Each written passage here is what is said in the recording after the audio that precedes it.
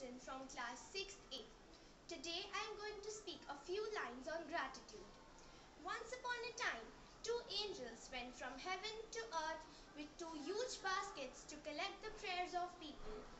One basket was labeled requests and the other thanks. When the angels returned to God, the basket of requests was full and overflowing, but the basket of thanks was almost empty. Dear friends, the lesson is quite clear. An attitude of gratitude is often absent in our lives.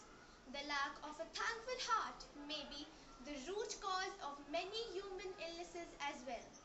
People deserve to be thanked for all the ways in which they help us, no matter how small it might be. Gratitude teaches us the value of their actions by showing them how grateful we are.